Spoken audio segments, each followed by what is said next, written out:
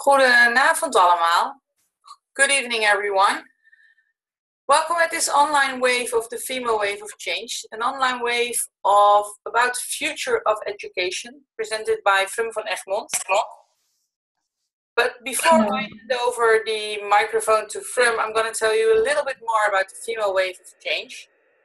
Um, what we're going to do also during this webinar that we keep the microphones muted until we have the interactive moments uh, with Frum at the end of her presentation. You can use your chat box um, for questions. Um, use your camera if you want to show yourself, and we will, of course, record this online wave. Um, my name is Sandra Kok. I am one of the board members of the Female Wave Change. Female Wave Change started uh, on January 20th of this year. So we're just about 10, 10 months, 11 months old. Um,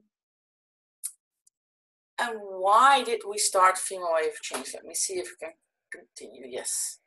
Female Wave Change Foundation um, started um, with a very huge ambition. Uh, we want to grow the change makers, female change makers, female leaders in this world, to let them take responsibility um, of their future, but also the future of the families and the people around them in their community, and of course, the rest of the world. There are no borders, so we can work throughout this world. Um, well, how are we going to do this? We are going to connect with people by building bridges. We're going to share knowledge and experience like we do tonight with the online wave. Um, and of course, we embrace change and transform this change and, and this world into new opportunities together. Um, what are we doing? Um, we are connecting through our huge network. We have a lot of people joining us on social media, on the various platforms that we uh, are active on. So please find us there and join us, follow us, and interact with us. Um, with uh, online ways like this, which we do every week now, uh, we did. We started with online waves somewhere around April uh, this year every three weeks, and now we have a weekly online wave. We start next week with an online wave also from another area in this world. We have an online wave from India, which means it's the middle of the day for us and it's the evening for the people in India. But that's going to happen when we have an online wave, wherever it is.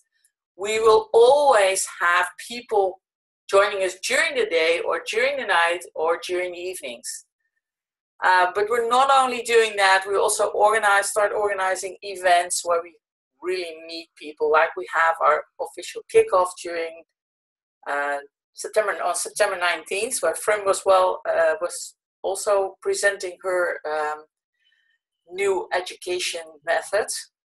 Um, what we also do is these new opportunities that we like to create together. We have a platform called PartUp where you can join us uh, on all kinds of challenges and all kinds of subjects. And if you have one yourself, well, start a team there and um, invite people to join their uh, join your team and challenge. As long as it's in the spirit, of course, of female wave change. We love those initiatives. This is how PartUp looks, and this is what I want to tell to you before we hand over the time and, and microphone to, to Frum. Frum van Egmond, the founder of the Noordwijk Method, a new way of looking at education. I heard from Ingun a little bit about um, a lot of experiences already from people and also um, uh, interesting organizations coming from abroad. I heard something about Hong Kong. I don't know if you're going to tell something about that, Flynn. But that sounds very, very uh, inspiring and interesting. So I'm going to stop um, my presentation. I'm going to hand it over to you. And I'm going to give you the floor. Thank you, Sandra. Let's see, I'll share my screen with all of you now. At least that's how it's supposed to work.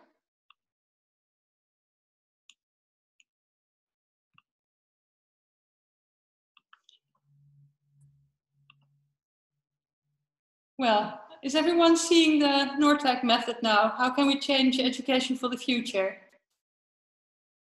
I get some thumbs up, so that looks good. Yes, welcome everyone. Welcome to my webinar. Um, I'm Frum van Egmond, and uh, about 10 years ago, I founded uh, my own primary schools in Noord, my own primary school in Noordwijk in the Netherlands. And um, uh, this school works with an innovative educational philosophy, which I call the Noordwijk method. And this evening, I'm going to tell you some more about that. And uh, for five years, I've been the principal and a board member of the of my own school in Noordwijk. And now, since about eight years, I also have a foundation to uh, help other schools and institutions with their innovative ideas. And um, well, here's a small overview of some of the things I've been doing so far. Um, so there are quite a lot of schools that work completely with uh, the Noordwijkse methode, so with the Noordwijk method in English. Um, but there's also there are also a lot of in innovation projects that I've been doing uh, that you see on the left. And uh, someone was referring to the international projects I'm doing, which is very exciting, I think. So I'm working on uh, uh, improving schools in, in Hong Kong. I work with Japanese teachers, and I've been doing some European projects on talent development in Czechia and Slovenia. But today I'm going to tell you about the content of my philosophy, the Noordwijk method, and also um, I'm going to share some ideas I have on how to innovate your school or your uh, organization. So let me start with uh, how it all started. This is me when I was eight years old. And already when I was young, I had this idea one day when I'm big, I'm going to found my own school. And um, well, life uh, went as it did, and I became a psychologist. And I've been giving trainings on social skills, personal skills, communication skills. And uh, I got a family with uh, three and later four children. And I moved to Noordwijk from Amsterdam. And then this idea popped up in my head again I want to found a school. So that's what I did. And uh, to found a school uh, with the Dutch government, that takes two years. And during these two years, um, I formed a group of experts and people around me uh, that all wanted to uh, build this new innovative school and um, well, together we've been looking at what kind of school should it be. And at first, my ideas weren't that uh, interesting at all. I thought, well, regular schools are quite good, and um, these methods they work with. Uh, a lot of experts have been working on that, and they have special um, programs for children that are very uh, bright, and also they have extra work for children that need more attention to really understand what's going on at school. But just to be certain, uh, I wanted to examine uh, the possibilities of, for example, Montessori or Jena Plan or other uh, innovative school systems. But very soon, I found out that there's a lot of information on learning and um, our changing world that you don't really uh, see in schools. So this is all uh, available information, but um, well, schools are still not working with uh, all this information. So before uh, I tell you more about my philosophy, the Noordwijk method, I want to um, take you on this small journey um, on, on learning and on our changing world. So this is a metaphor I use a lot when I um, talk to people about learning and that is that you can see the brain actually has a sort of tree. I always do like this, and it's like a knowledge tree. And every time you learn something new, a new branch is added to this tree. And you can only learn something new when you've got a big branch already that you can add this small new branch to. So for me, it's very important for schools to um, to really uh, help children to develop a large knowledge tree so when they are outside of school or later in life, they uh, can um, really uh, benefit from new knowledge that they encounter. So they can add it to their knowledge tree. Because if they don't have these branches already, they, they can't add all this new knowledge. So um, my philosophy really helps children to uh, develop this branch, this tree with these big branches. Another way to look at brains is to compare them to a roadmap, as you see here from uh, Utrecht. And um, you see small roads and highways and uh, like these small, small, tiny roads that uh, are leading through the woods, for example, small pathways. And every time you learn something new, a new pathway is created. But that pathway is still very small. And only if you do something on a regular basis or you practice with something, uh, the road gets bigger. And the highways are the things that you can really do uh, really well, so you know a lot about. And um, uh, for some children, you tell them something once and they have a highway snap just like that. And other children, you really have to help to find uh, uh, other ways, uh, what they call um, um, small uh, village roads to get somewhere, and it takes a lot of time to to find a, a, good pathway in your in your brain. And then there's still another aspect on brains and learning, uh, which you see on this um, slide. It's about the left left side of your brain and the right side of your brain. And um, when you look at the left side, it's very much about analytics, step by step, lists, numbers. Um, it looks a lot like the traditional way of working in schools. And the right side of the brain is about colors and daydreaming and the reality, uh, how it comes in real life with uh, colors and sounds and everything mixed. And uh, research shows that if you use both sides in learning, so both the step by step way of learning, but also the project based way of learning, um, the learning ability of children um, enlarges with a factor 5 to 10. So that means you learn 5 to 10 times as much uh, when you use both sides of the brain than when you use only project-based education or only uh, step-by-step -step learning.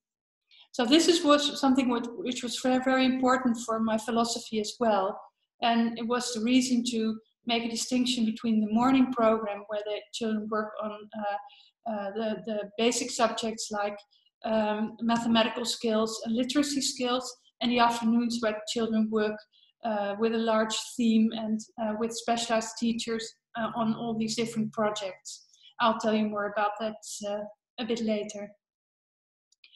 Well, and then there's our changing world, and I made this long list of all um, uh, all these well changes that are going on in the world at this moment.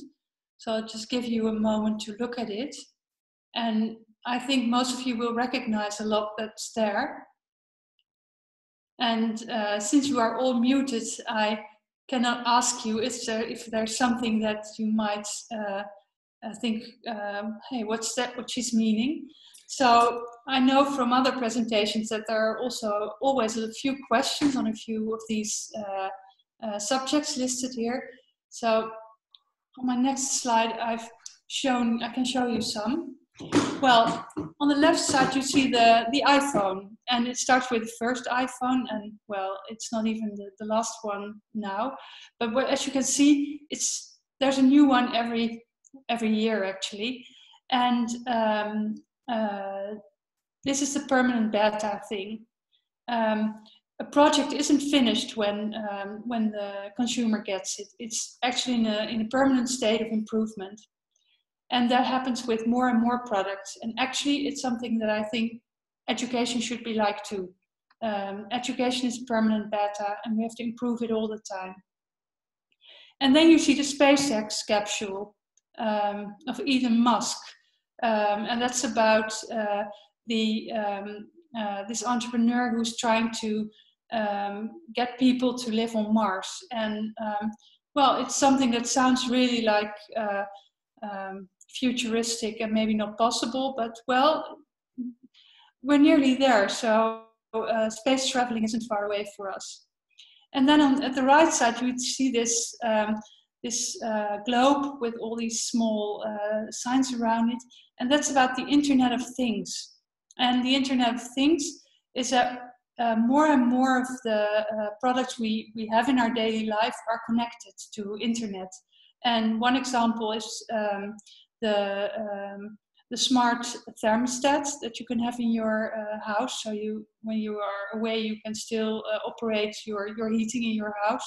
But also uh, the Fitbit that people use to measure their, their heart rate and um, the steps they, they are, um, um, the way they move during a day. And um, at the right bottom of the page, you see these two lines.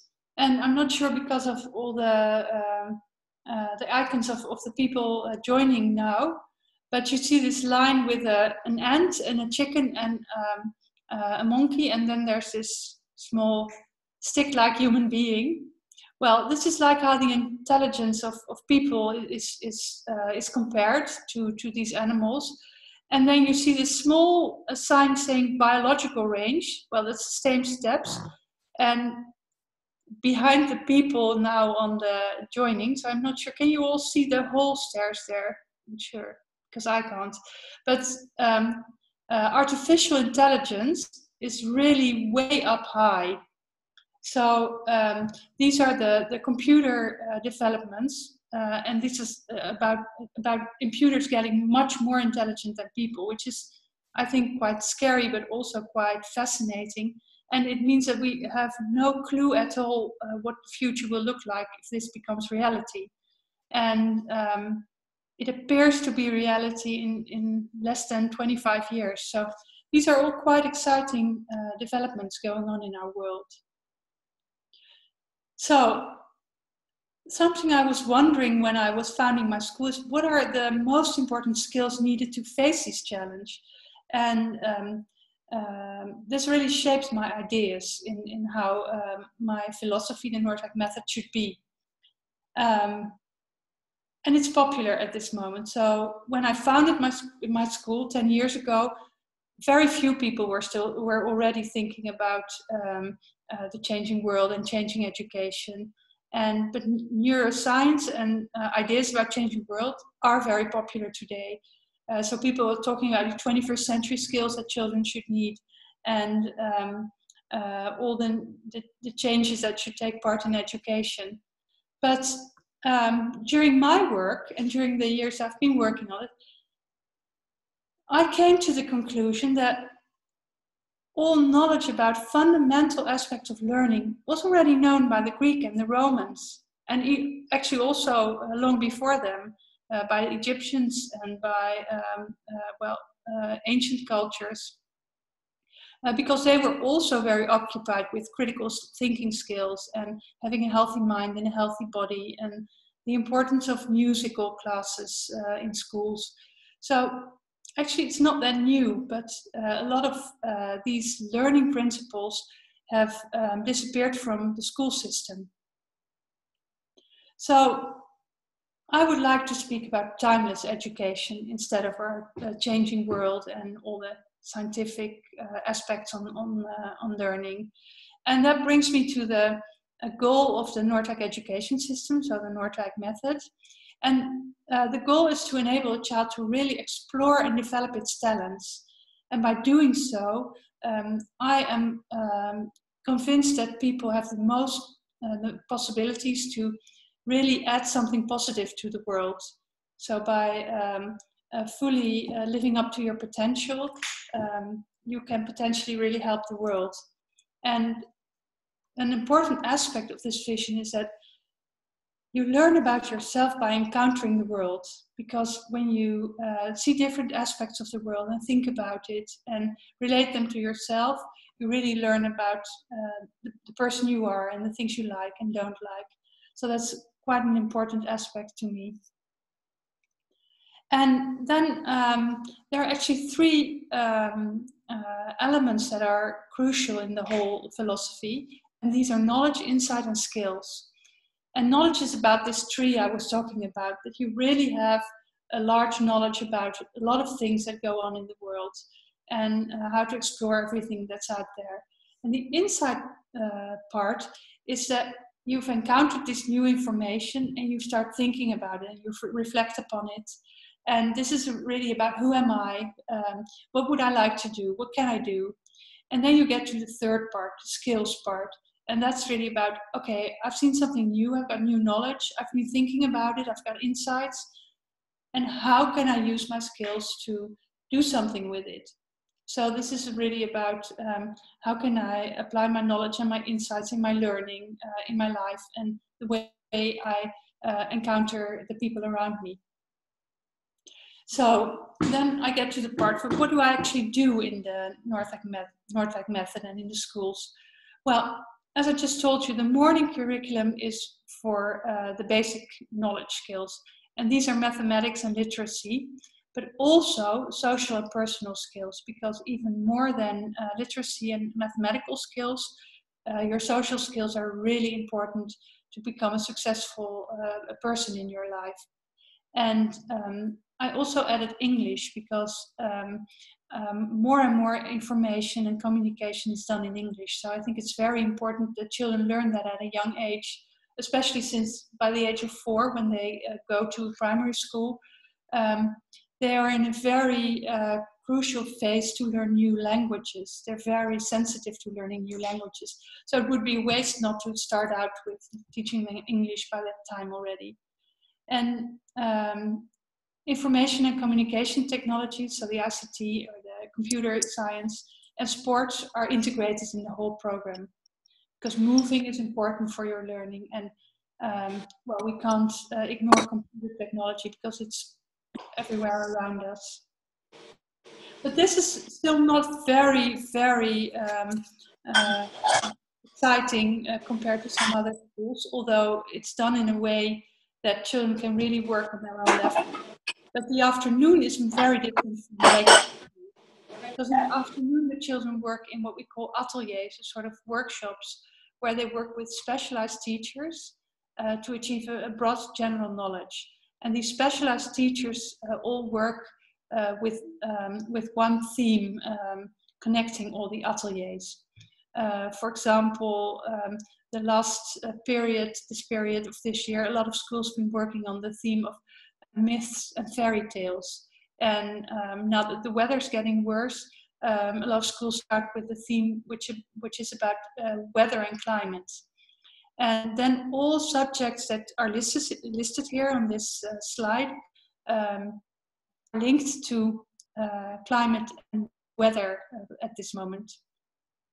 And the teachers um, don't have to uh, teach all subjects to to the children anymore. They can really focus themselves on the subject that they really like and that they are talented in.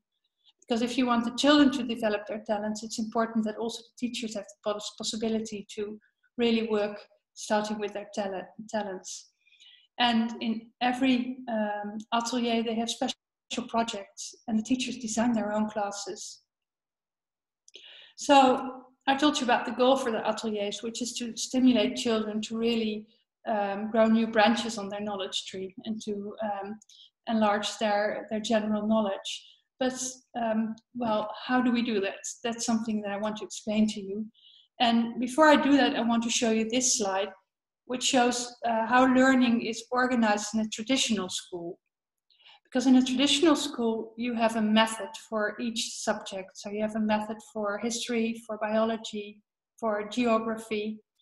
And um, in general, you uh, your teacher just tells you, uh, children, please read the text in your textbook, and um, afterwards make the questions about the text in your workbook, which is in the middle middle there, and then um, uh, your knowledge is tested on on a test, and whether you um, know a lot about what was listed in the text, or if you don't know a lot about it. Um, well, it's a pity if you don't, because the next subject is coming on. And this way of learning uh, teaches children to become effective um, uh, searchers for relevant information and not anything else. So just um, they just learn uh, to read what is necessary to make the questions in the, in the workbook and to get a high grade on the test. But it doesn't encourage them to become uh, uh, become curious explorers of the world around them and to try to gather as much information as they can and to learn as much as they like about uh, about a subject and that is something that i consider very important for children and that's also because uh, the reason that i des- designed an alternative for this textbook workbook test uh, cycle. And um, the alternative that we uh, designed is the fundamental learning mo model. And that instead of starting with a method, it starts with goal orientation. So the teachers really look um, to what is the goal I want to achieve with the children? What subject do I want them to know about? And then they go, look, go and look for inspiration to teach the children. So they can still get their textbook, but they can also try other means to um, inspire the children um, to, to offer them new knowledge. And then it's very important for children to start thinking about it because when they think, they um, they really build new roads in their in their uh, their highways in their in the brain map that they have, or they add new branches to the knowledge tree that they have. And um, when they've been thinking about it, the next step is to really do something with the information, to apply it to um, to their world and it always ends with reflection, with um, the children thinking about what did I learn? What um, uh, was it interesting? Was it difficult? What, would be my next steps? Well, I'll elaborate a bit on, all of these. Because the first thing, uh, the goal setting, um, is very much related to the Dutch government because they've uh, designed uh, these goals, which are called the uh, central goals, the kerndoelen of the Dutch government. And it's a list, you can see it on the internet, that lists all the subjects that children should know about uh, in a primary school. And the funny thing is that the majority of teachers doesn't know these goals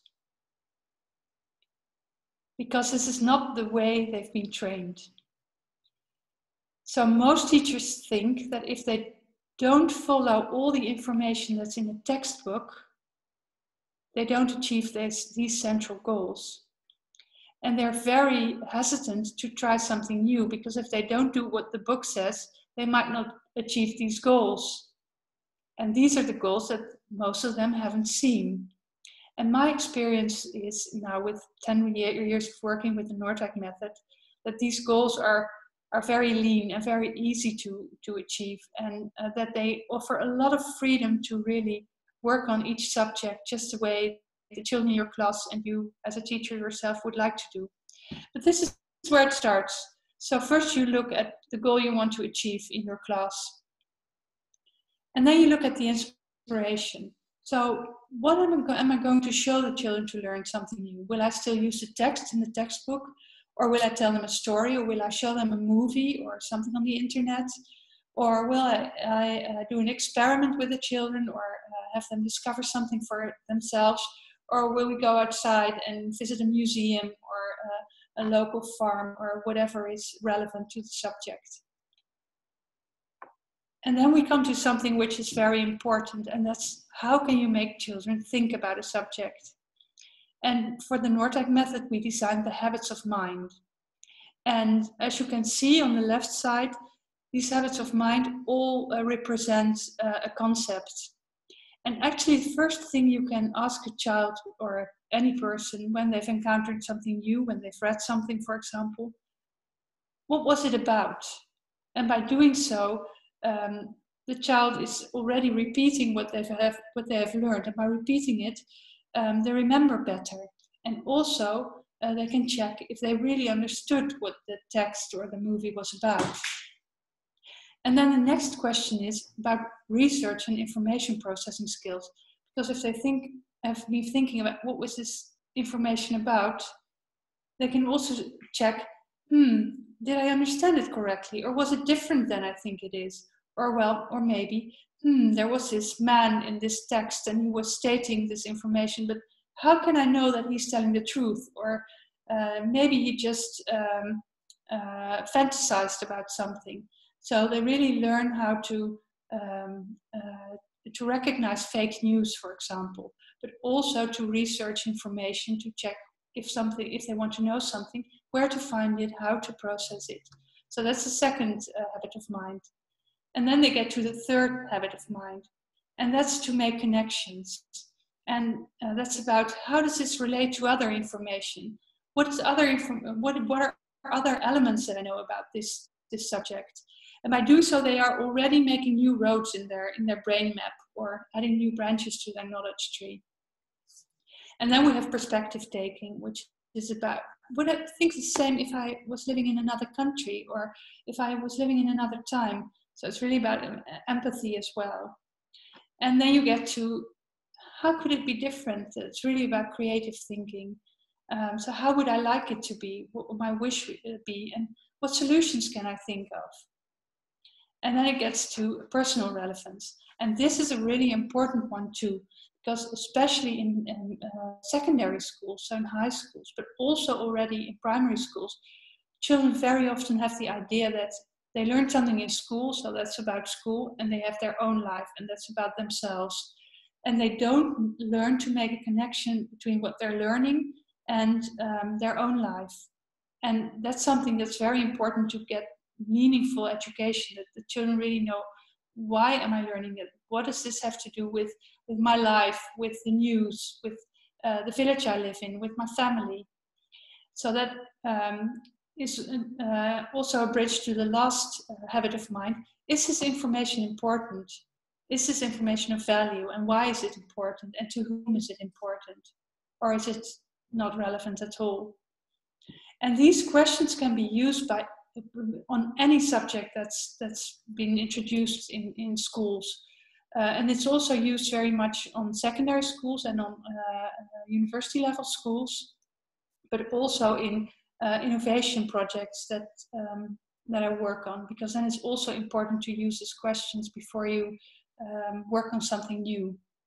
So um, you've got a goal, you know what the children want to learn. You uh, offered them uh, inspiration by watching a movie or reading a book, and you've been thinking about this information together with with children using the habits of mind. And then you get to the last step, but before we get there, I still have some examples. Um, so I'll let you read this one, and then I'll tell you which habits of mind is it about, but maybe you know already. Very good. I think everyone think, sees its perspective taking. And this is about Columbus. So I um, uh, use this one very uh, often, uh, especially when we work on, on a theme on discovery travels. So I've got another slide on this one.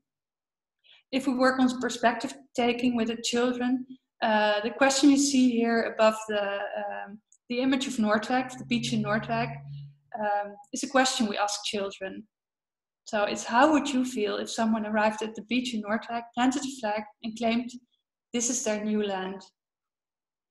Because well, that's that's about what Columbus did when he uh, uh, encountered the Native Americans. And I'm very proud of this slide because I made it uh, uh, especially this morning with uh, to uh, to show you what I mean by the question, and it really worked out well, I think. so um, when you you so you've got this new information, you've been thinking about it, and to really work on the whole learning cycle, you need to apply the information. So in the traditional uh, classroom setting uh, it would be like you've read the text and you work on the in the workbook but instead of working in a workbook these are all skills that you can work on with children. So there are a lot of literacy skills that you can practice uh, on any subject on geography, on bio, biology on history but also on, on art or music uh, theory. And um, well you see some examples here. I don't want to uh, read them all to you, but also mathematical skills. Um, for example, if the children have a cooking atelier, um, you can ask them to um, to to uh, to to change a recipe for four people to a recipe for eight people. Or very bright children can um, uh, calculate how much uh, ingredients you need for 13 people, um, or just uh, listing information in a, in, a, in a table or making a graph of the length of uh, the children themselves. These are all um, skills you can, can practice in projects. Helemaal niet. Wat? Banaan. And um, uh, ICT skills, of course, uh, they, they um, talk for themselves, I would say. You can make a PowerPoint or a Prezi or a presentation, or you can ask children to look something up. But also, you can ask them uh, to make a website or a Facebook page for uh, an imaginary person, or you can do a lot of things. Or with art, um, make a comic about a subject you've read about, or um, um, compose music that um, uh, shows how the people must have felt in some period of, of time. So you can really do a lot of things. And here I have some examples of um, uh, how I would like children to, to become uh, using this way of, of thinking because uh, using the fundamental uh, learning model that I've just been explaining about um, is very well applicable to um, how you um, well, how you design your life uh, in the future. Because there's a lot to do about uh, we have to prepare children for this unknown future. And i think it's different. I think we have to uh, teach children to design their own future not to prepare them for some future that that's a given. And no they are the ones who are designing that future. So i think boyan slat is a really nice example. He had this goal. He wanted to clean the ocean.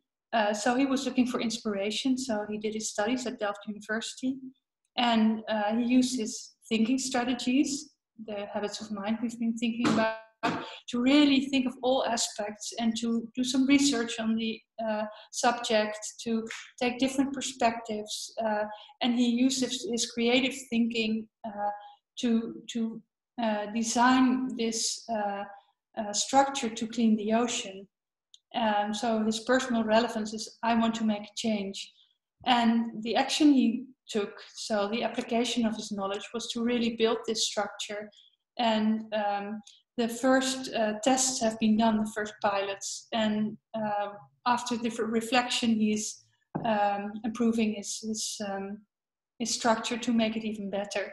So I think this is a really nice uh, example of what I hope for all children to become, whether you will become a nurse or something, taking care of people, or um, a carpenter, or um, a politician, or um, an inventor like Boyan Slat is.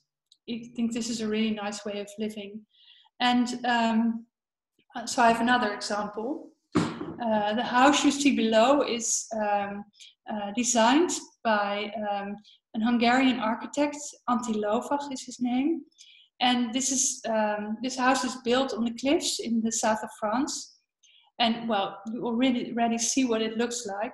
So what I think is that uh, was inspired by um, uh, Barba Papa and Barba Mama, and um, he used this inspiration to really uh, think about all the possibilities he, he was having uh, and he was seeing, and he used his skills to design this house which he which he built on the on the cliffs. And i think it's really exciting and lovely architecture but also when i was working on this webinar i was thinking this is also how you learn. And this is how um, i think all of you learn. Because um, i had this goal for today. I wanted to teach you all about the Noordwijk method. So uh, I had to, to, I had to, I needed some new knowledge. Because this is my first webinar and I was really like, oh my God, how am I going to do this? So um, the, uh, the software, I think it's called, what we work with is, is, is Zoom. So I really had to look at Zoom and look what, how it works and what it does. And I looked at all these uh, YouTube uh, films about uh, tips for effective webinars. So I hope I'm applying them well now. And um, so I had all these tips, and I, I think I was, I knew then by then how it worked, and I had to think about it. Okay, what can I do with it? What tips uh, are correct? So I had to research that because I must admit there were some really weird tips um, by people that didn't look too good on uh, on their webinar. And um, I had to connect the new information to my own ideas and my knowledge and um, I had to take uh, this perspective of, of you guys, my viewers, um, how not to be too boring uh, on a webinar. So I hope it's working out. And um, then I had to apply all my new knowledge. So I had to prepare my webinar slides today and I have to talk to you now. so when um, this is over and um, I can look back at the webinar, I am sure I have a thousand things that I could do better next time. So next time I have new goals again, and then the whole afternoon look for new inspiration to um, improve myself all the time. So this is how learning works. So um, uh, the the fundamental learning model really applies to all these different situations. And I'm really excited by that because learning for adults really works the same as learning for children. And always when I speak to teachers, I tell them everything you want for the children should apply to you guys as well. Because um, uh, I always give them the example then, um, because teachers always tell their children, oh, it's okay to make mistakes. It's good to make mistakes because when you make mistakes, you are learning. And I couldn't agree more. But teachers are very responsible, really nice people that don't allow themselves to make mistakes because they feel way too responsible uh, for their children. But what do the children see? They have these teachers that teach them making mistakes is okay, but the teachers themselves don't allow themselves to make mistakes. And then we come to a very fundamental learning principle because as soon as you are born, you start to learn by um, uh, copying the behavior that you see in other people. And um, this is a way of learning that we keep with us for the rest of our lives. So we copy other people. And uh, if you behave differently as a teacher from what you are saying, the children will never believe you. They will never believe that making mistakes is okay if the teacher doesn't do it themselves. And also, if you want children to develop their talents, the teachers must be able to develop their talents as well. And if you want children to become responsible for their own learning process and have a lot of uh, personal space to work on their own way, teachers need that responsibility and that open space to make their own choices as well. So these are really important aspects in innovating. And um, I'm not sure if everyone who's watching is involved in a school, but um, if you would relate to what we're talking about, um, I would like to ask you what's your change goal and what inspired you today already, in, hopefully, in the things I've told you. And then um, after this uh, uh, webinar, please think about it and relate it to your own life and look at different perspectives and uh, research what I've told you and look at the personal relevance and then think about what could I do with it and how could I implement this? And how will you know that it's working? And what you've been doing then is repeating the fundamental model cycle and applying it to something that you want to change in your own life. So this is homework during the webinar already. But why is it so difficult to innovate? Well, a few years ago, I was at a conference, and then um, this guy, Peter Luiten, he showed me this uh, table, and I think it's it's very interesting. And I'll give you um, a minute to just read it because it's nice to just look at it and see if you recognize things in it.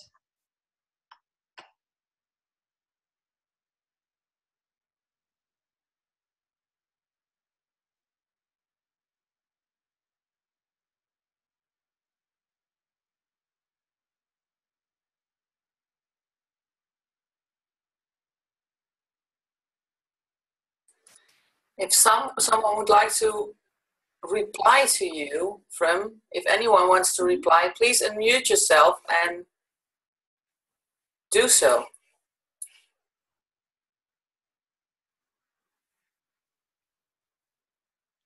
Well i think everyone has been reading it by now. And something that i uh, see very often is that um, our our, our societal structures are very much uh, still based on the industrial society.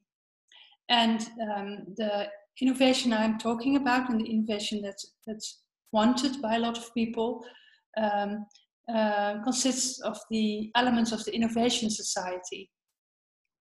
And um, what you see in practice is that it's already um, something uh, big if you have innovations going from the industrial society to the knowledge society. And um, you can have big ideas and, and uh, really uh, want to do something which, re- which is related to the innovation society. But the whole structure that people work in uh, is still based on this industrial societies, so it doesn't help people with their innovation. Uh, regulation is often not in line with, with innovation. And um, uh, the, the, way that, that buildings are built, uh, the structures of the classrooms, um, but also um, educational organizations and um, uh, the, the publishers of school methods, they all uh, still work to, uh, with very conservative uh, structures. So that's very challenging to, to, to innovate. And um, this is also uh, uh, a picture that I think is very um, informative because it really shows you what you need to innovate uh, effectively. Um, so you do need a vision. You really ha- have to have to have a common goal together. And there's a lot of misunderstanding about about goals because um, a lot of people uh, want to innovate, and that's about doing something. But before doing something and choosing something, it's very important that you know why you want to do it. And uh, the people you're working with, they need to feel they have need to have a sense of urgency. They need to feel why it's necessary to change, why to do something new, and they need to have the capabilities and the incentive and the resources and the money uh, uh, to to really do something. And there should be a really good plan. So a step-by-step way of doing it, and then become successful. But what you see, if any of these uh, elements is lacking, um, you get a lot of resistance and fear or confusion. So um, it's very important to, to really um, check all these elements if you want to do something new. And always step one, if you want to have an idea, work on the why. And um, uh, I usually give uh, people the, the, the assignment to sit together with someone else and just ask why and ask why again and ask another time why until you come to the level when it's about okay i'm doing all this because at the end i want to improve the world. And if you are there then you can can go down again and uh, stop at the level that you think you can really make a change and only then you have to look at okay what means can i use what's the best uh, method I can use to uh, to achieve my goal. And if you do so, you have uh, um, you always have a, have something to strive for. To it's, it's it really gives you direction in, in, in the way you are uh, something you work towards. But also at the end, it's uh, something to reflect upon. Did we achieve our goal by doing what we did, or do we have to do something else? And if you only work uh, with means, so by doing something. For example, we want children to um, uh, to learn how uh, to do philosophy, and there's not not enough time in the in the school table because there's never enough time. Then teachers just leave it. They say, "Oh well, we'll do some mathematical uh, assignments instead of uh, philosophy." So you really need to know why you're doing it because then you can really um, uh, focus on it. And this brings me to the horizontal innovation model, which is actually the innovation part of the fundamental learning model because it's exactly the same, but it's uh, not about learning the central goals by the government. It's how to innovate your school or your organization. And as you see at the left, there's it's about goal orientation as well. But you have to set your goals together with your team. And it has to start with the overall vision. What's your company about? What's your school about? and how do you how do you change that into the goals you have for your organization for this year and what does that mean for the people for the personal uh, uh, goals of the people uh, related to to the the goals you thought of to, together for the school and then you need new knowledge you need inspiration so uh, either workshops or literature or talk to a colleague can be everything and then you have to think about it i've got this goal i uh, saw something new I want to think about it and I want to relate it to my to my own classroom, to my own personality. and I want to do something with it. And then you implement it. You um, you try you you try it in practice. And I always say do it on an appropriate scale. So don't change the whole school at once. Just try do a tryout first, and then reflect upon it and adjust it or find new new inspiration, um, and set new goals for the next year. And that's all nicely said, but you can only change if the whole system in the vertical way is working together, if the goals are aligned. Uh, it's what some people call total alignment. So if you are if you want something for your students and you are a teacher and you are working really hard in your in your classroom and implementing all these innovative ideas, it's very hard if you won't be supported by by your team and by your principal um, because then you are just working in this in this only one room and nothing really changes in the big picture. And the other way around doesn't work uh, either. You can't be a director and um, uh, have these ideas without being aligned to what's happening in the classroom and what the teachers want. So you have to set the goals together and really align them all the time and see if if the if you work together in achieving the same things and then i have a few rules because um, when you uh, want to innovate or want to develop your organization or your school this is really the golden rule. You can only have three goals a year as a maximum. Because what i see in most schools if they make their year plans they have 20 goals and they're not all goals. Most of them are means. But um, no one if you ask any teacher they don't know what the goals are. And to achieve the goals together with your team you need to um, to know them all. So you have to work together on it. And if, if you have these three goals you can still do extra things but those things are pilots. They don't count. Um, you can either uh, uh, uh, skip them at the end of the year or talk together if you want to integrate them in the next goals. And the second rule is the platinum rule. You really have to plan innovation in your uh, yearly schedule.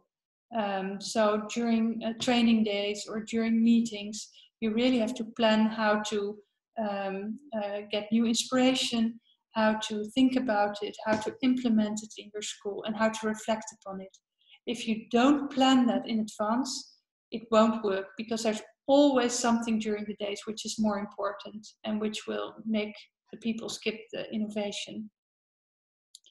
And the diamond rule. You have to do it together with your team. So that's related also to the vertical uh, innovation model. If you do it alone, it won't work. So I've, this is actually um, what I wanted to tell you about the Noordwijk method and about uh, innovating. So I was wondering if there are any questions by now. So I think you can all unmute. You know what I noticed uh, from? So mm -hmm. if I hear you, I see you focusing on, on schools, which is your business. But mm -hmm. if I mm-hmm. look at the things that you're working on with schools, it's so easy to integrate it in normal life most of the aspect yes yes it's that's that's interesting and funny because I, at this moment i'm also working with a bank and also uh, with the um, uh, the board of what's it called this the, the city of amsterdam. Because they are preparing innovative plans for the future of amsterdam and it works the same way. And also with um, a colleague of mine who is a therapist yeah she uh, she applies these uh, these steps to people uh, well who have um, uh, issues that they want to solve personally.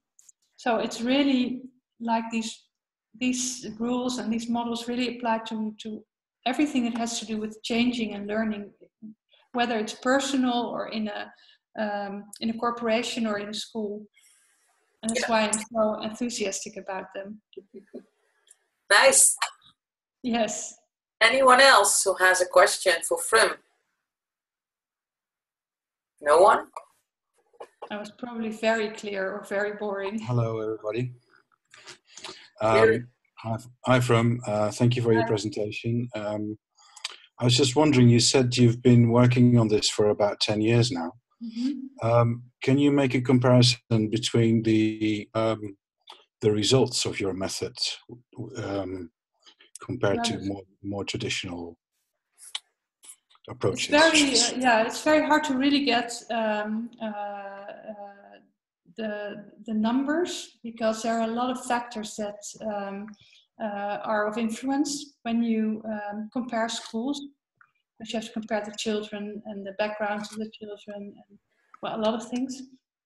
But um, what I can say for the schools um, uh, that work with the Noordwijk method is that their traditional um, uh, ways of measuring the, results, like with CITO tests, are, are, are, quite good. Uh, they didn't go down, and in a lot of schools they went up. And one of the uh, most striking differences is that the children are much happier. And what the teachers um, give back, but also the parents and the children themselves, is that they, they like school much better and they become really curious and they really want to know about the world and they ask a lot of questions. And um, so it really works on improving their, their general knowledge. But also from uh, secondary schools where the children have gone to, because a lot of uh, children have gone to secondary school already, um, they um, uh, give us back that the children are very um, uh, rich in, in taking initiative and uh, very independent in working and also have a lot of uh, general knowledge. So that's, that's nice to, to hear back. So it is, it is working. Right. Yes. Okay.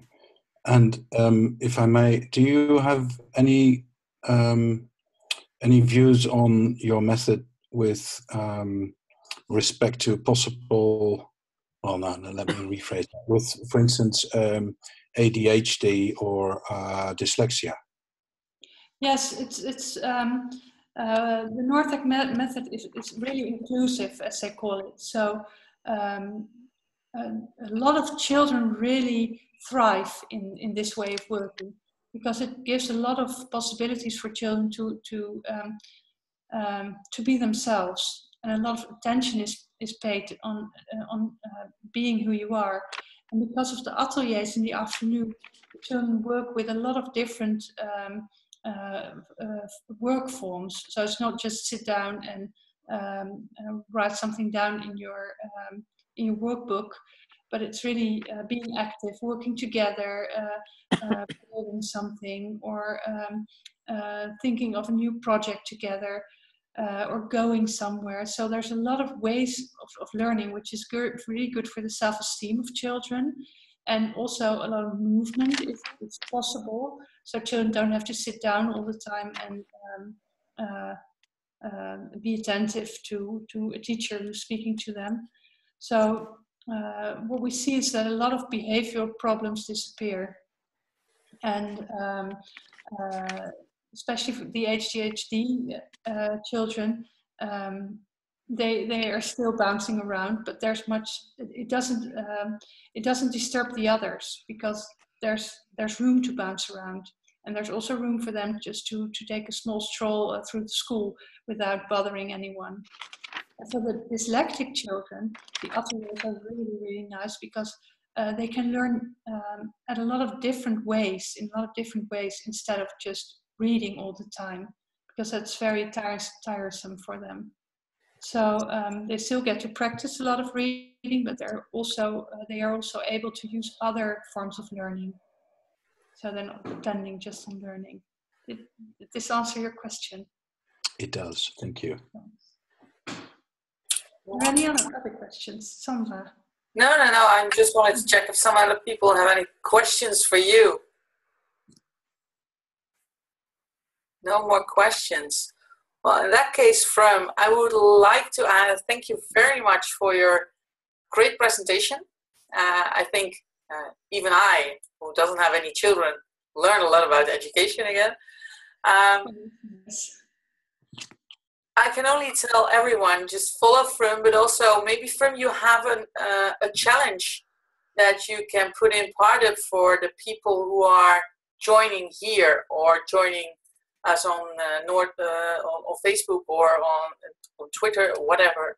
social media so we can continue to to think and brainstorm together and maybe help you but you helping the others as well in um, working with your method yes well um, uh, something that's very important to me is to really um, uh, have more people. I would like the whole world to know about this way of working, and I really hope that um, uh, that schools in the Netherlands and also abroad will work with the principles I've been telling you about today because um, they really work really well and they really offer possibilities for children to uh, become the kind of uh, people that I think we are all looking for in this world and to hopefully make it a better place, but especially to help children to, to, um, to give them more space to develop to their full potential in a way that they feel comfortable with. So what I would like to ask everyone is, is please uh, share my ideas um, if you uh, like them and um, uh, help me to uh, spread the ideas and to get a lot of schools to work with the, the method or with elements of it. And uh, for that, I would be very thankful. So thank you. All right. Well, thank you. Um, I can. Is there someone else who has a question? No one. I thought Marta was raising her hand, but it was something else. Um, well, thank you again, Frum, and thank you everyone for attending this online uh, wave. We have recorded it, so we will put it on uh, on our YouTube channel uh, probably tomorrow morning. And if you want to listen it again, you can or read it, see it, everything she's shown. It was a lot. Uh, go to our YouTube tomorrow, and um, I want to wish you all a very nice evening, and looking forward to meeting you again on one of the other online waves. Well, and I want to thank the Female Wave of Change for organizing this, and I want to thank everyone listening and watching for all your time and attention. And um, I wish everyone a really nice evening. Bye bye. All right. Bye bye.